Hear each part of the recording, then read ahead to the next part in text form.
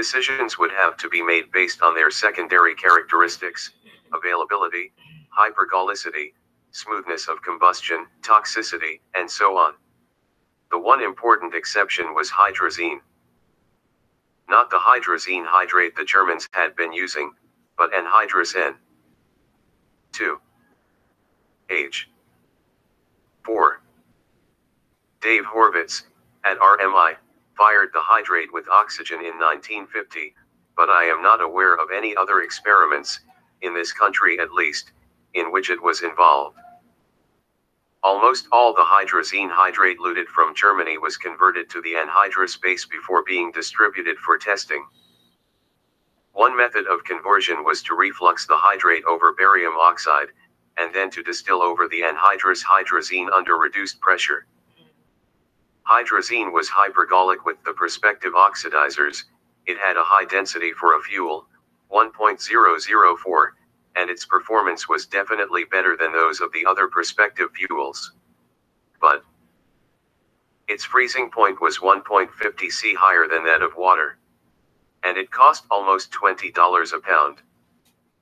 So two things obviously had to be done get the price of hydrazine down, and somehow, lower the freezing point. And again, there was that haunting thought of pentaborane. There was one subject on which everybody agreed. Nobody was going to put up with the aniline RFNA combination for one moment longer than he had to. The acid was so corrosive to anything you wanted to make propellant tanks out of that it had to be loaded into the missile just before firing, which meant handling it in the field. And when poured, it gives off dense clouds of highly poisonous no. 2. And the liquid itself produces dangerous and extremely painful burns when it touches the human hide and but nitric acid and the struggle to domesticate it deserve, and will get, a chapter all to themselves. The aniline is almost as bad, but a bit more subtle in its actions. If a man is splashed generously with it, and it isn't removed immediately, he usually turns purple and then blue and is likely to die of cyanosis in a matter of minutes. So the combination was understandably unpopular, and the call went out for a new one that was, at least, not quite so poisonous and miserable to handle. Kaplan and Borden at JPL suggested one at the beginning of 1946. This was WFNA and straight furfuryl alcohol. Furfuryl alcohol was about as harmless as any propellant was likely to be, and WFNA. The hunting of the hypergol. 27. While it was just as corrosive as RFNA, and was just as hard on the anatomy, at least didn't give off those clouds of no. 2. They fired the combination in a WAC corporal motor, comparing it to the 20% furfuryl alcohol, 80% aniline mixture and RFNA. And found no measurable difference in performance between the two systems. The WAC corporal was conceived as a sounding rocket, the little sister to the 20,000 pound thrust corporal then under development. It was the ancestor of the Aero aerobee.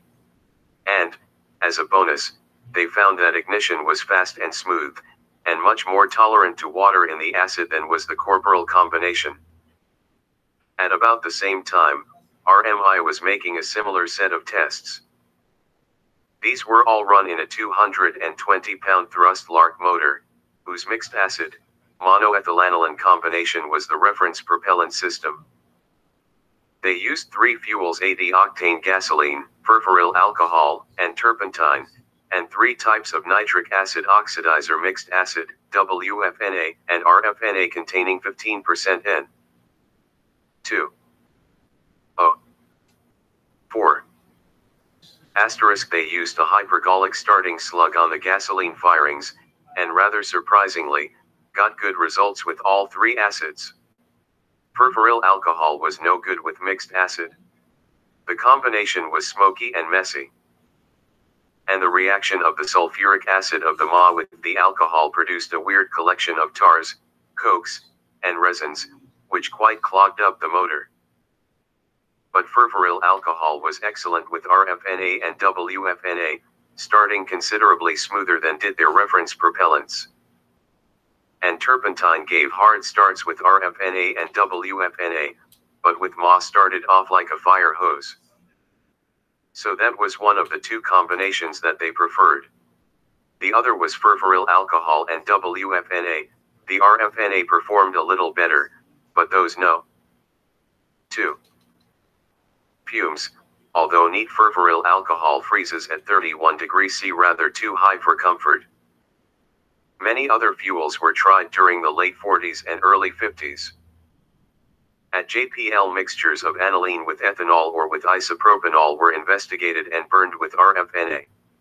Ammonia was fired there, with RFNA, as early as 1949, and the next year Cole and Foster fired it with N.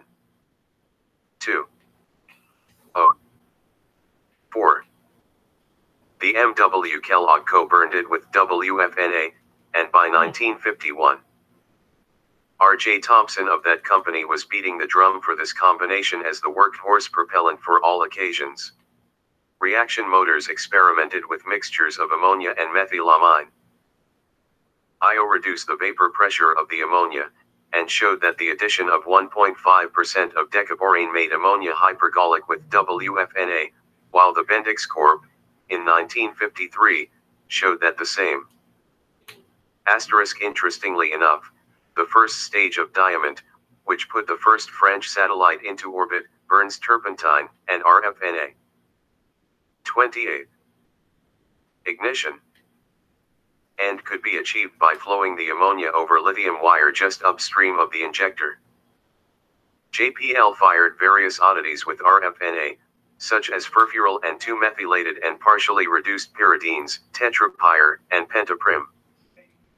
The object of these tests is not readily apparent, nor is the reason why RMI bothered to fire cyclooctatetraene with WFNA. The fuel is not only expensive and hard to get, but it has a very high freezing point and has nothing in particular to recommend it. And the reason that the Naval Air Rocket Test Station went to the trouble of burning ethylene oxide with WFNA is equally baffling. The Edisonian approach has much to recommend it, but can be run into the ground. One of the oddest combinations to be investigated was tried by RMI, who burned D-limonene with WFNA. D-limonene is a terpene which can be extracted from the skins of citrus fruits, and all during the runs the test area was blanketed with the delightful odor of lemon oil. The contrast with the odors of most other rocket propellants makes the event worth recording. Oh, It had long since become obvious to everybody concerned that firing a combination in a rocket motor is not the ideal way to find out whether or not it is hypergolic and, if it is, how fast it ignites. By the nature of research, more tests are going to fail than are going to succeed, and more combinations are going to ignite slowly than are going to light off in a hurry. And when the result of each delayed ignition is a demolished motor, a screening program can become a bit tedious and more than a bit expensive. So the initial screening moved from the test stand into the laboratory, as various agencies built themselves ignition delay apparatus of one sort or another. Most of these devices were intended not only to determine whether or not a combination was hypergolic, but also to measure the ignition delay if it was. In construction, they varied wildly, the designs being limited only by the imagination of the investigator. The simplest tester consisted of an eyedropper, a small beaker, and a finely calibrated eyeball, and the most complicated was practically a small rocket motor setup. And there was everything in between. One of the fancier rigs was conceived by my immediate boss, Paul Terlizzi, at NARTS. He wanted to take high speed Schlieren, shadow, movies of the ignition process. What information he thought they would provide escaped me at the time, and still does. Asterisk there was a small IG. Asterisk an incurable inventor of acronyms, he called it STIDA, for Schlieren type ignition delay apparatus. The hunting of the Hypergol 29. Nishan chamber, with high speed valves and injectors for the propellants under investigation. Viewing ports, a high speed Fastax camera, and about 40 pounds of lenses, prisms, and whatnot, most of them salvaged from German submarine periscopes, completed the setup. Dr. Milton Scheer, Uncle Milty, labored over the thing for weeks, getting all the optics lined up and focused. Came the day of the first trial. The propellants were hydrazine and WFNA.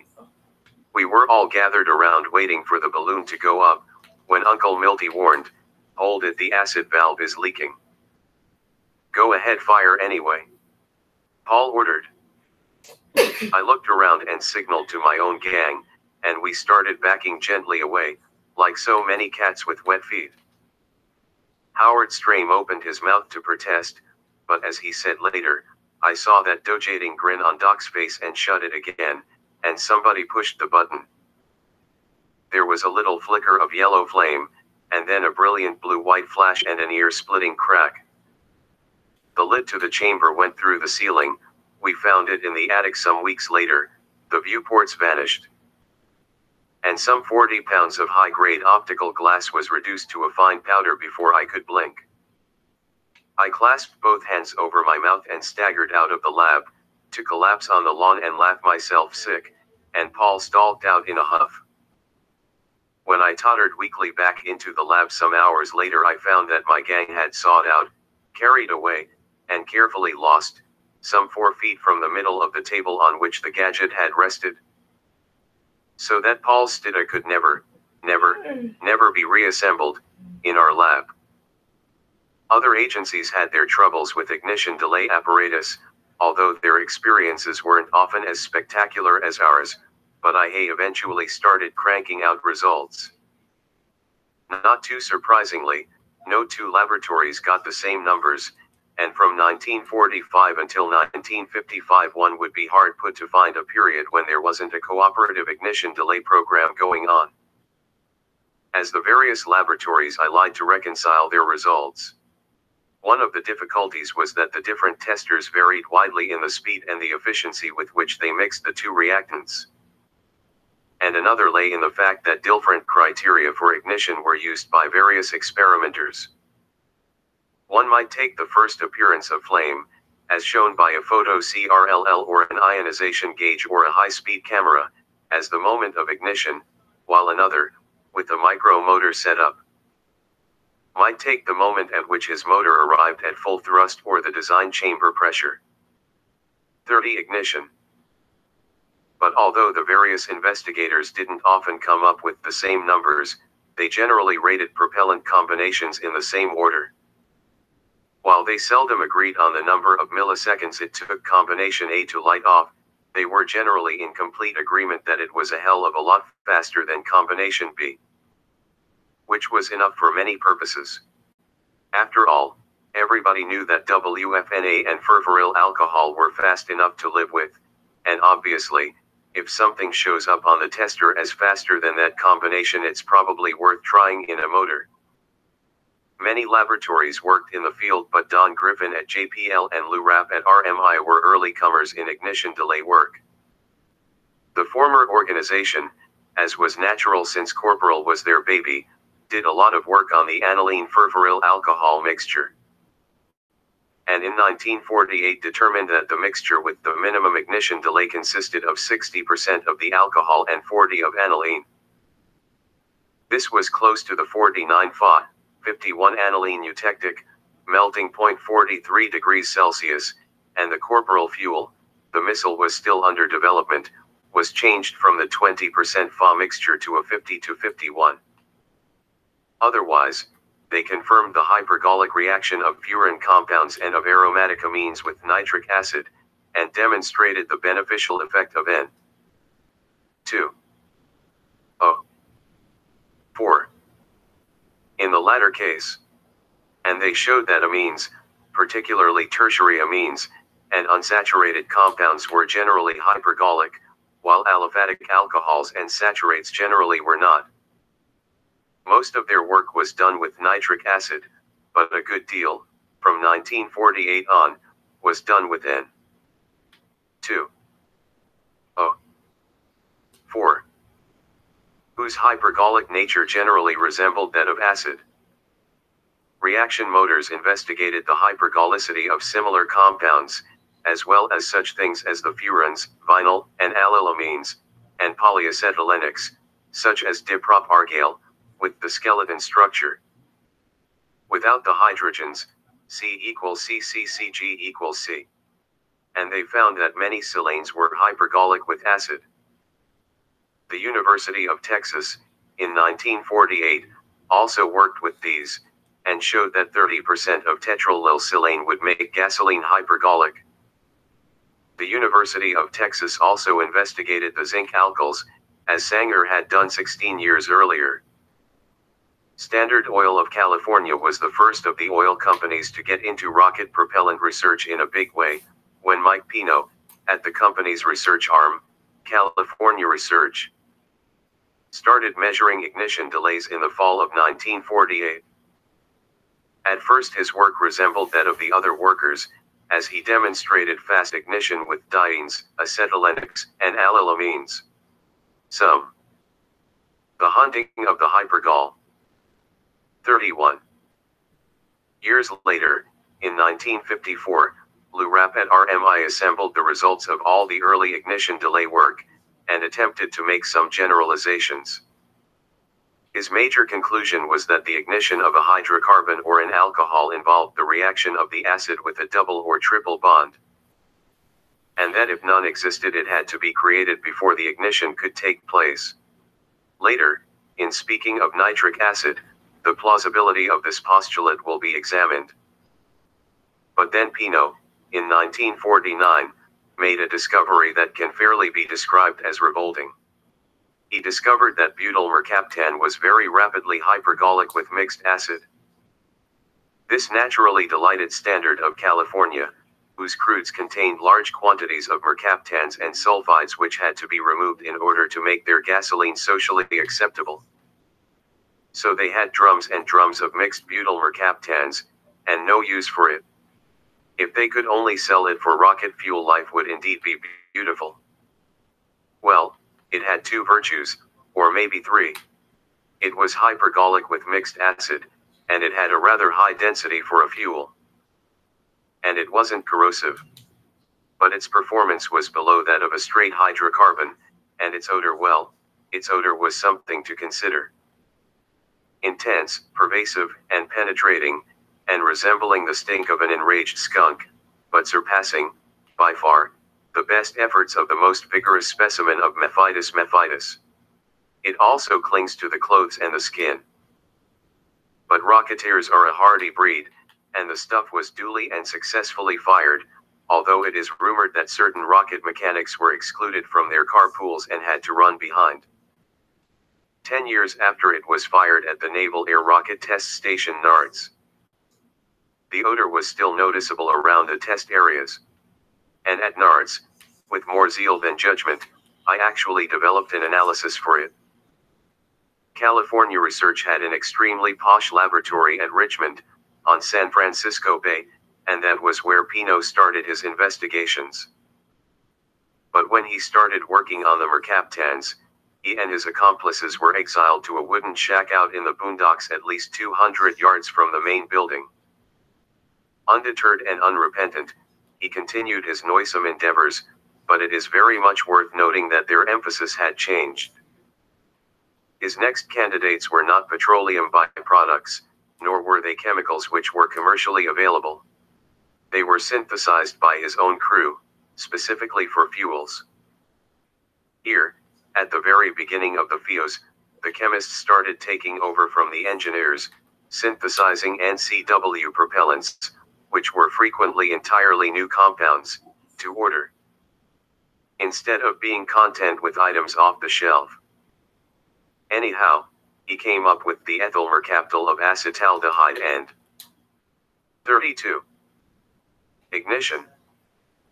The ethyl mercaptol of acetone, with the skeleton structures. C. CCSCSCC and CCSCSCC. II. CC respectively.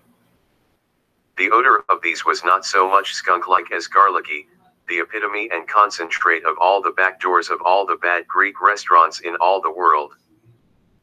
And finally he surpassed himself with something that had a dimethylamino group attached to a mercaptan sulfur, and whose odor can't, with all the resources of the English language, even be described.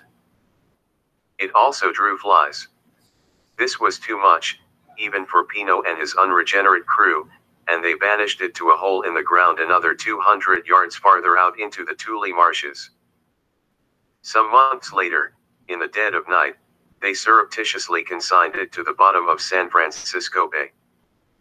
To understand the entry of the next group of workers into the propellant field, it's necessary to go back a bit and pick up another thread. From the beginning, the services had disliked the fuels that the researchers had offered them, not only because of their inherent disadvantages, but above all because they weren't gasoline. They already had gasoline and used huge quantities of it, and why should they have to bother with something else? But, as we have seen, gasoline is not a good fuel to burn with nitric acid, and the services had to accept the fact. Which they did, grudgingly. But all through the late 40s and early 50s, the Navy and the Air Force were busily changing over from piston airplane engines to turbojets. And they started buying jet fuel instead of gasoline, and the whole thing started all over again. They demanded of the people designing their missiles that said missiles be fueled with jet fuel. Now, what is jet fuel? That depends. A turbojet has a remarkably undiscriminating appetite, and will run, or can be made to run, on just about anything that will burn and can be made to flow, from coal dust to hydrogen. But the services decided, in setting up the specifications for the jet fuel that they were willing to buy, that the most important considerations should be availability and ease of handling. So since petroleum was the most readily available source of thermal energy in the country, and since they had been handling petroleum products for years, and knew all about it, the services decided that jet fuel should be a petroleum derivative of kerosene. The first fuel that they specified was JP1, a rather narrow cut, high paraffinic kerosene. The oil companies pointed out that not many re. The hunting of the hypergo. 33. Fine rise in the country could produce such a product with their available equipment and crudes, and that the supply might thus be somewhat limited. So the next specification, for JP3, JP2 was an experimental fuel that never got anywhere, was remarkably liberal. With a wide cut, range of distillation temperatures, and with such permissive limits on olefins and aromatics that any refinery above the level of a Kentucky moonshiner's pot still could convert at least half of any crude to jet fuel. This time they went too far, allowing such a large fraction of low boiling constituents that a jet plane at high altitude boiled off a good part of its fuel. So the cut was narrowed to avoid this difficulty, but the permitted fractions of aromatics and olefins, 25 and 5% respectively, were not reduced. The result was JP4, with just about the most permissive specifications to appear since the days of coal oil Johnny Rockefeller I. It is NATO standard, and the usual fuel for everything from a Boeing 707 to an F 111. JP5 and 6 have arrived since, but haven't replaced JP4. And RP-1 is another story, which will be told later. But trying to burn JP3 or JP4 in a rocket motor with nitric acid was a harrowing experience. In the first place, the specifications being what they were, no two barrels of it were alike. A jet engine doesn't care about the shape of the molecules it burns as long as they give up the right number of BTUs per pound, but a nitric acid rocket is fussier. It wasn't hypergolic with acid, but reacted with it to produce all sorts of tars, goos, weird colored compounds of cryptic composition, and troubles. And if you got it going using a hypergolic slug, say. Sometimes everything went well, but usually not. It was acid gasoline all over again a coughing, choking, screaming motor, that usually managed to reduce itself to fragments, and the engineers to frustrated blasphemy. Everything was tried to make the stuff burn smoothly, from catalysts in the acid down or up to voodoo, The farthest out expedient that I heard of was tried at Bell Aeronautic. F. Sornabody had the bright idea that the sonic vibrations of a rocket motor might promote combustion. So he made a tape recording of the sound of a running motor and played it back at the interacting propellants in the hope that they might be shaken or shamed into smooth combustion. Why not? He tried everything else. But alas, this didn't work either. Obviously, JP was a lost cause as far as the rocket business was concerned. It was with this background that the Navy's program on rocket fuels derivable from petroleum came into being in the spring of 1951, although it wasn't called that officially until the next year. If you couldn't make JP work, maybe you could derive something else. 34. Ignition. Cheaply, for choice, from petroleum that would. Or, one hoped, that could be mixed with JP and make the latter burn smoothly over a reasonable mixture ratio range. The title of the program was deceptive. Derivable is an elastic term, and it is to be doubted that the higher ups of the Bureau of Aeronautics realized what they had authorized. But the lower level chemist types in the rocket branch were perfectly aware of the fact that a good chemist, given a little time and money, can derive just about anything organic, up to RNA from petroleum if he wants to. The contractors were being told, in effect, go ahead, Max, see what you can come up with. And if it's any good, we'll find a way to make it from petroleum somehow. The contractors now joining their endeavors to those of California Research were the Shell Development Co. Standard Oil of Indiana, Phillips Petroleum, and the Chemical Engineering Department of New York University, NYU and for the next two or three years there was a continuous ignition delay project going on. Each laboratory, as it came up with a new hypergolic additive, would ship samples to all the others, who would mix it with standard non-hypergolic fuels and then measure the ignition delay of the mixtures. The standard non-hypergols were generally toluene and N-heptane, although NYU, presumably to assert its academic independence, used benzene and N-hexane. JP wasn't much use as a reference fuel, since no two lots of it were alike. As for the fuels and or additives that they synthesized, Shell and NYU concentrated on acetylenic compounds, and Phillips put their major effort into amines. As for Standard of Indiana, that organization went off on a wild tangent. Apparently jealous of their sister company of California and determined to do them one better, they went beyond mere sulfur compounds, and came down hard on phosphorus derivatives. They investigated assorted substituted phosphines, from the trimethylphosphine, through butyl and octyl phosphines, onto monochloro, dimethylamino, phosphine. And then they settled happily on the alkyl trithiophosphites, with the general formula, Rs. 3. P, where R could be methyl, ethyl, or whatever. The one they gave the greatest play was mixed alkyl trithiophosphites, which was a mixture of, mainly, the ethyl and methyl compounds. Its virtues were those of the mercaptan's hypergolicity and good density and no corrosion problems, but its vices were also those of the mercaptan's exaggerated. The performance was below that of the mercaptans, and the odor, while not as strong as those of the Pino's creations, was utterly and indescribably vile. Furthermore, the hunting of the hypergol. 35. Their structures had an unnerving resemblance to those of the G agents, or nerve gases, or of some of the insecticides which so alarmed Rachel Carson. This disquietude was justified. When some of the alkyl thiophosphites were fired at NARTS, they put two rocket mechanics in the hospital, whereupon they were summarily and violently thrown off the station. Standard of Indiana plugged them hard, and there was even a conference devoted to them in March of 1953, but somehow they, like the Mercaptans, never roused the enthusiasm of the prospective users.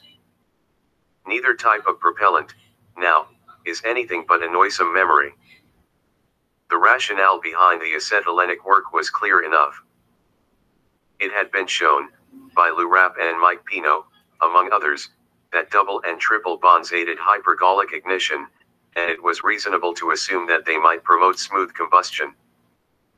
If only by furnishing the fuel molecule with a weak point where the oxidation might start. Furthermore, the parent molecule of the family, acetylene itself, had always been regarded hopefully by the workers in the field. The extra energy conferred upon it by the triple bond should lead to good performance, although the low percentage of hydrogen in the molecule might work against it. See the chapter on performance. But pure liquid acetylene was just too dangerous to live with. Having a lamentable tendency to detonate without warning and for no apparent reason. Perhaps some of its derivatives might be less temperamental.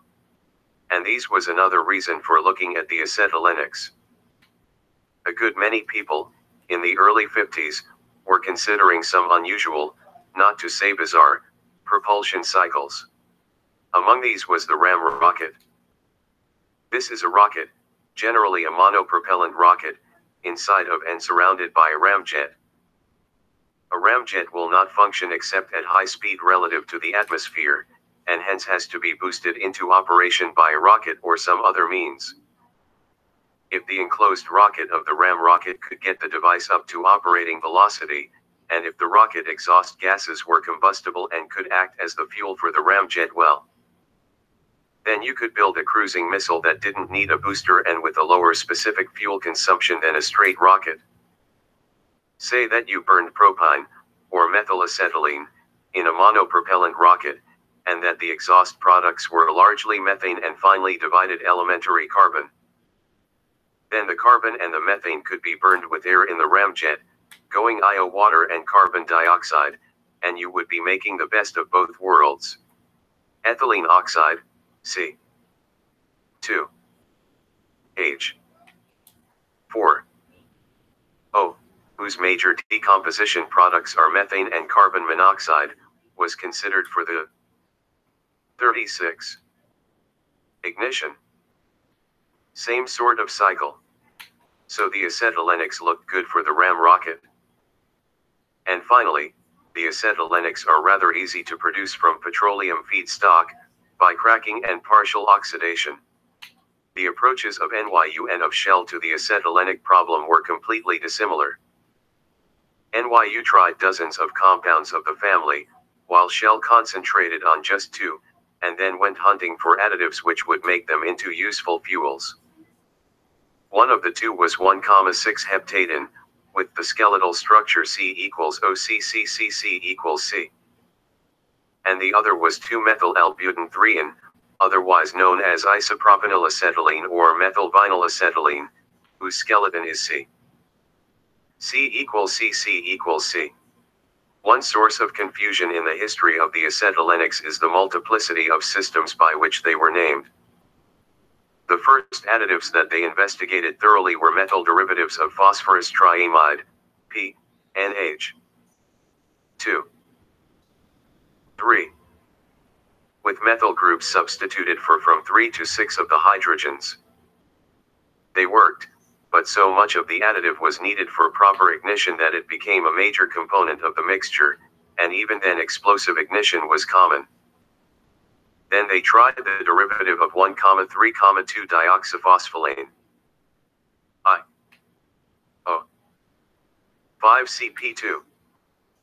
4CO3 and finally settled on 2-dimethylamino 4-methyl 1,3,2 dioxaphospholane, which was usually, and mercifully, known as reference fuel 208. Again, it wasn't a success as an additive, but taken neat, it was one of the fastest hypergols ever seen. It wasn't particularly toxic, and might have made a fairly good workhorse fuel, but before much work had been done on it, events made it obsolete. It's all but forgotten now. Between 1951 and 1955 Happel and Marsel at NYU prepared and characterized some 50 acetylenics, hydrocarbons, alcohols, ethers, amines, and nitriles. They varied in complexity from propyne, or methylacetylene, CC equals C to such things as dimethyl divinyl diacetylene CC. C equals CC equals CC equals CC equals C with no less than four multiple bonds. The climax of unsaturation came with butene dinitrile, or dicyano. The hunting of the hypergol 37. Acetylene, N equals CC equals CC equals N which had no hydrogen atoms at all, but rejoiced in the possession of three triple bonds. This was useless as a propellant it was unstable, for one thing, and its freezing point was too high but it has one claim to fame. Burning it with ozone in a laboratory experiment, Professor Grosse of Temple University, who always liked living dangerously, attained a steady state temperature of some 6000 K, equal to that of the surface of the sun. Many, if not most, of the acetylenics had poor storage properties, and tended to change to tars or gels on standing. They also tended to form explosive peroxides on exposure to the atmosphere. Many of them were shock sensitive, and would decompose explosively with little or no provocation. Something like divinyl diacetylene can fairly be described as an accident looking for a place to hap. And while some of them were fired successfully in a rocket, RMI burned propyne, methylvinylacetylene, methyldivinylacetylene, and dimethyldivinylacetylene all with oxygen, they turned out not to be suitable fuels for nitric ACI. D. They usually detonated on contact with the oxidizer, as several possessors of piles of junk that had originally been ignition delay equipment could testify, and did. But some of them showed promise as monopropellants and as additives, and the air reduction C. O, which had entered the field around the middle of 1953, had propyne, methylvinylacetylene, and dimethyldivinylacetylene in commercial production by 1955. Some of them were excellent additives for JP. For by August 1953, RMI had shown that as little as 10% of methylvinylacetylene in JP4 led to smooth combustion with RFNA over a wide range of mixture ratios, and greatly improved ignitio.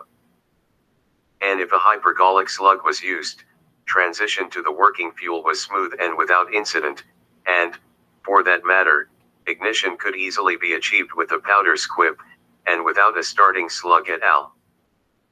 L. Several of the others had the same effect, but by the time that this was determined the acetylenics had been overtaken by history, and had been developed only to be abandoned.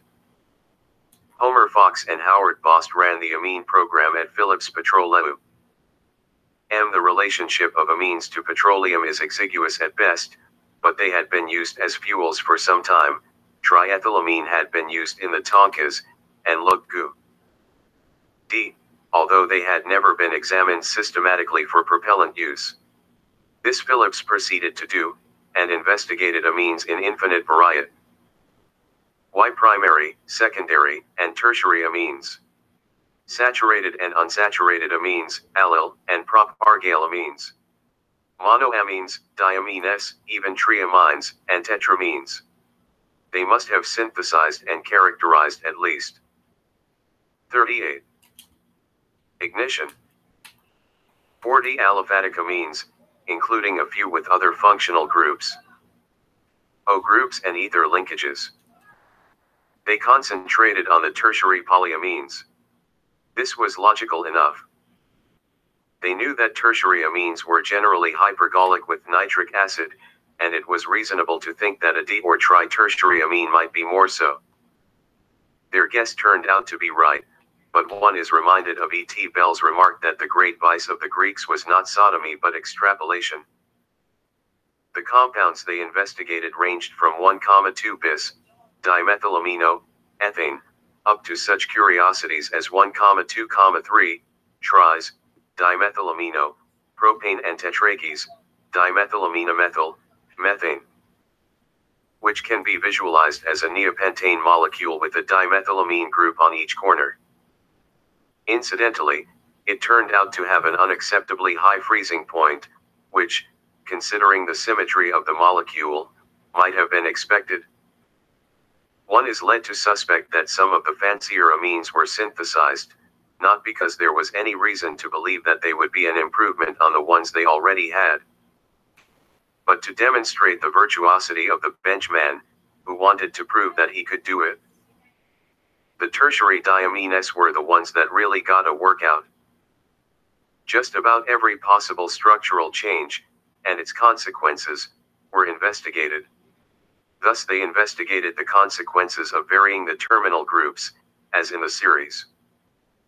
1, 2 bis, dimethyl, or ethyl, or allylamino, ethane. Or, of varying the length of the central hydrocarbon chain, as in 1, 1, 1, 2, 1, 3, 1, 4, 1, 6. Bis, dimethylamino. Methane, ethane, propane, butane, hexane. They moved the amino groups around, as in 1, 2. J-bis, dimethylamino, propane and 1, 21, 1, 3 J-bis, dimethylamino, butane. 1, 4. They examined the effect of unsaturation in series like butane 1, 4 bis, dimethylamino, 2 butene. Point 2 butene. The hunting of the hypergol. 39. And they tried every conceivable permutation and combination of these changes, as well as adding O groups or ether linkages. As might have been expected, introducing an hydroxyl group produced a compound which was excessively viscous at low temperatures. Triethanolamine, which had been considered as a fuel, is an extreme example of this effect, and therefore was never used. The allyl terminated amines were also rather viscous, and were subject to atmospheric oxidation. Otherwise, as might have been expected, they were all very much alike, the complicated ones being in no way superior to the simple compounds, as might also have been expected. None of them was any good as a jet fuel additive.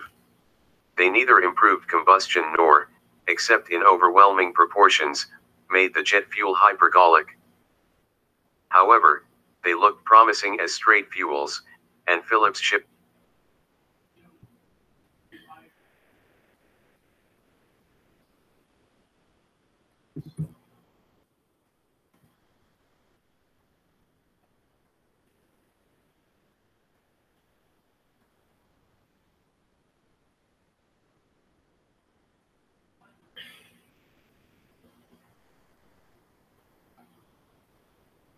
A hypergolic propellant combination used in a rocket engine is one whose components spontaneously ignite when they come into contact with each other. Hmm. However, they looked promising as straight fuels, and Phillips shipped samples of four of them to the Wright Air Development Center to be test fired. They were all of the bis, dimethylamino, type, the 1, 2 ethane, the 1, 2, and 1, 3 propane, and the 1, 3 1 butene. At WADC, in 1956, Jack Gordon checked out their properties and logistics, and fired them with RFNA. They were good fuels. Ignition was hypergolic and fast, combustion was good and performance was respectable, and the saturated ones, at least, were quite stable to heat and suitable for regenerative cooling. And they, too, were obsolete at birth. For all this work had been done, as it were, with the left hand. Hydrazine was the name of the big game.